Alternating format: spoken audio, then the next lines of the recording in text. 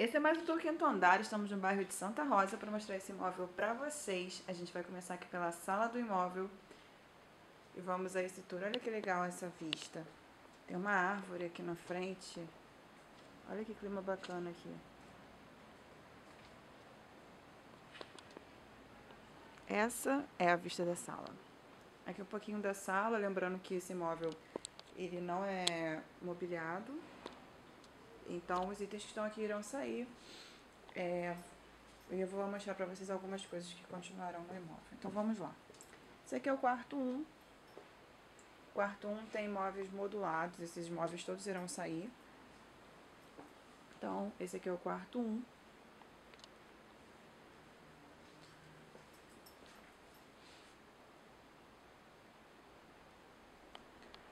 Saindo do quarto 1, nós vamos ao quarto 2. Esse aqui é o quarto 2, os móveis também são modulados, então eles também irão sair. Esse aqui é o quarto 2.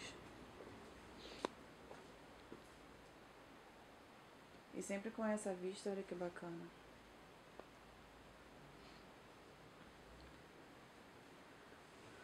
Agora nós vamos ao banheiro do imóvel.